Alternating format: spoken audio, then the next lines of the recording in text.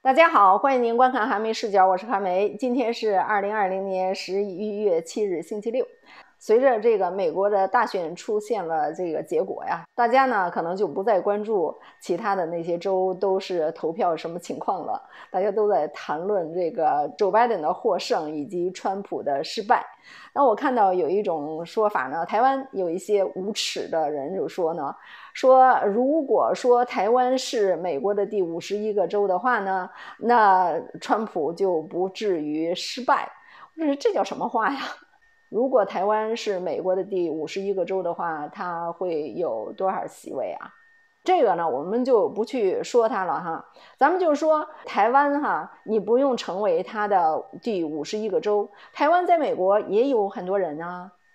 如果你在网上查一下，你说华人美国大选当选，华人美国当选的话呢，真的是没有华人当选哎。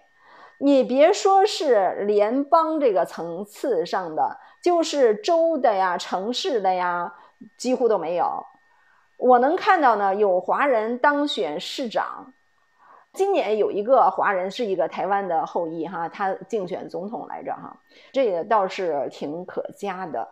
那华人呢，在美国就很少有人参与政治了，就很少很少。华人呢，也不甚团结。华人呢，在美国就很少参与政治了。大陆人呢，在美国其实人数也不少了，但是呢，大陆人很少参与政治、参与竞选的。但是呢，这也是一个好事儿。大陆人对政治感兴趣、参与政治的那些呢？多数都是这些汉奸，不起什么好作用，就像余茂春那样的无耻之流，那种汉奸，对吧？有什么用啊？还有什么杨建立啊，天天牛叉哄哄的，好像觉得那个什么，一天到晚的就想把中国搞垮，什么人呢？那不说他呢哈，我今天想说一个呢，就是在 Joe Biden 的这个胜选当中啊，有一股力量是不可小觑的。他们是什么呢？他们就是穆斯林哎！我发现这穆斯林呢，虽然说它分布在各个不同的国家，但是呢，他们很抱团儿哎，相当的团结。那他们自从这个川普上任之后呢，川普刚一上任，他就试图呢要进这个穆斯林，在二零一七年的时候呢，连续推出来了三个总统行政令。这三个总统行政令都是试图要进穆斯林的，但是这三个总统令呢都被民主党给拦下了。这是为什么呢？这一次穆斯林在 Joe Biden 的竞选活动当中呢，它起到了很大的一个作用。他们是 Joe Biden 这次胜选的一个生力军哎。他们不光是帮助 Joe Biden 投这个 Joe Biden 的票，他们自己去竞选议员呢。我看到有统计说呢，有 over 五十个穆斯林的竞选人赢得了美国的这个选举，但是这里面呢，他们赢得的都是州层次的州或者是城市的那个立法会，不是联邦的。那联邦呢？现在他们还有一个说法，就是这个川普推出来，川普说穆斯林不能当选为他们的联邦议员，不能进入他们的议会来立法。其最重要的原因呢，说我们这个当选的呢，都要按着这个 Bible，按着圣经发誓的。你得按照我们的圣经发誓，说你们穆斯林不可能按照我们的圣经来发誓。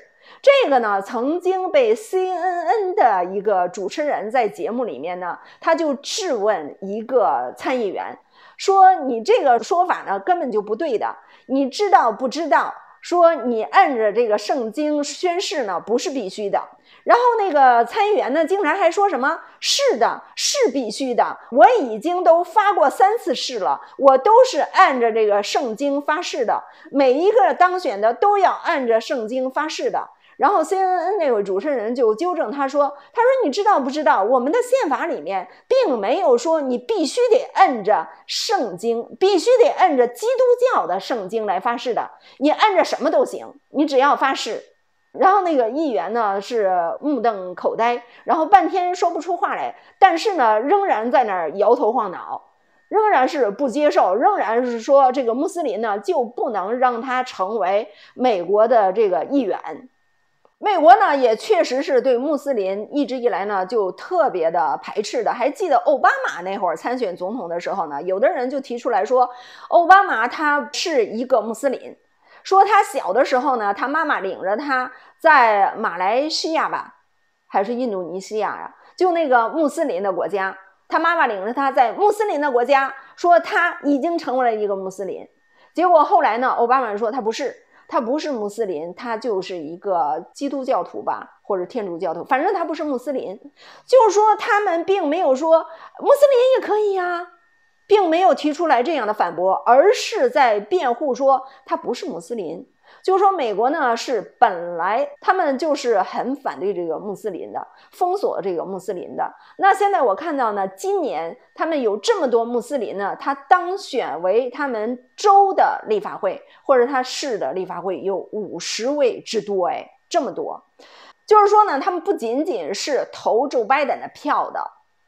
为什么说 Joe Biden 的胜选？是穆斯林给他做了很大的贡献。我在网上看哈，他们穆斯林呢有多么的抱团啊！他们在去年的九月份的时候，他们就出了一个美国大选指南。去年九月份的时候，这个指南呢就在他们穆斯林的群体当中呢就流传。如果你想去竞选的话呢，那你应该怎么做？如果你要投票的话，你应该怎么做？你作为一个美国公民的话，在美国的这次大选当中，你应该怎么做？他们从去年的九月份就搞了这个的，结果呢，今年就帮助这个 Joe Biden 就赢得了大选。有的人说，哇，跟穆斯林有什么关系？我告诉你，我给你举一个例子哈，我也是看他们穆斯林写的。穆斯林说，比如说这个密西根。密西根在上一届的时候呢，川普呀险胜希拉里，险胜什么叫险胜呢？他险胜了百分之零点二三，只赢了他一万零七百零四票。结果今年呢，今年这个 Joe Biden 呢就赢了他百分之二点一，赢了他十四万七千八百九十七票。其中你知道吗？在密西根，他们穆斯林呢以前没有出来投票，现在呢穆斯林在密西根，他增加了多少票呢？增加了八万一千多票。你想想看，周拜登现在领先了这个十四万，其中呢就有八万多是穆斯林。你说穆斯林他们所起的作用大不大？真的是很大的。那在其他的州是什么情况呢？我就不清楚了。我也用不着去做更多的这个 research，因为呢，我也不是说去为穆斯林摇旗呐喊。我想说的是什么呢？我想说呢，就是这个事实，我就让大家知道这个事实。有的人说：“哎呀，你为什么要为他们说话？”其实我也不见得为他们说话。那你人活在这世上，你光是知道一点你喜欢的事儿吗？那些不喜欢的事儿，你是不是也应该知道知道啊？或者你想知道，你想知道，你就来看我这视频。如果你不想知道，你就别看了呗，对不对？然后你不能说啊，让韩梅光说你想听的，那还有好多网友还想听呢，对不对？还想长这个知识呢，就是这样，这是一个知识啊。美国一个大选，你说我作为一个华裔，我作为一个加拿大人，我能有什么目的啊？对不对？就是呢，像我这样呢，主要是个吃瓜群众，你也起不了个什么作用，对不对？然后呢，我的视频他们穆斯林也不看。我想说的呢，就是大家了解一下，就是穆斯林呢，在这一次呢，挺起作用的，这是一个。另外，他们很团结。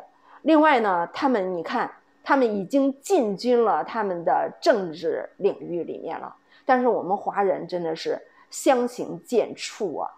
我们华人第一不团结，第二呢不起作用，不起作用，光会看热闹。有的时候呢，那我们的权利呢就不会得到保障吧？没有为你去主张你的权利，没有人去帮助你来主张你的权利。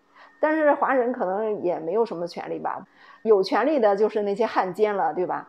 那些汉奸、那些法轮功就指望李洪志了。嗯，那些蚂蚁们就指望郭文贵了，对吧？他们就依靠他们就行了。然后那些海外民运们就指望那个余茂春就行了，对吧？这就是中国人了。但是呢，我告诉大家哈，美国是这个状况，不代表全世界华人全是这个状况。如果你看加拿大的选举的话呢，华人的参与还可以。华人呢，在加拿大的国会里面，我查了一下，有七位华人议员，比美国要强多了。而且加拿大呢，竞选的时候呢，华人还蛮团结的。凡是本区如果有华人出来竞选的话呢，基本上华人就投他的票的，是这样的。美国我们管不了，作为我来说，我管不了。美国呢，如果参与的话呢，华人参与也不是啥好事儿，不是轮子就是运子，不是运子就是蚂蚁，都不是什么好人。好，我这个视频呢就跟您说到这里，感谢您的收看，下次再见。